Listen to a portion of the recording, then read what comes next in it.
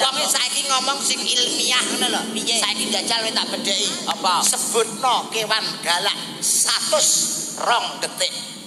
Wah, apa ya iso kewan galak 100 rong rong detik. Ya. Macan, singa. Eh, ah, wis wis entek wektumu. Ora iso kowe. Kowe iso? Kecil. Piye? Kewan galak 100 rong detik. Apa? Macan 50 singa 50.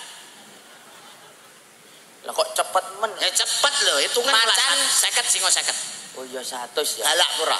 Galak, galak. Nyokot raimu ya iso Kowe tak tekoni. Mah, Piye carane nglebokne gajah ning jero kulkas? ya ora mungkin iso.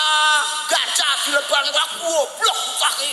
Makanya belajar, belajar untung suwek wi. Carane nglebokne Gajah itu gak bisa dilebokne kulkas ning jinggon. Eh, carane Carane gajah dituntun ning ngarep kulkas, Eh. lawang dibuka, gajah lebokne bleng, lawang ditutup. Apa sedeng Ora urusan.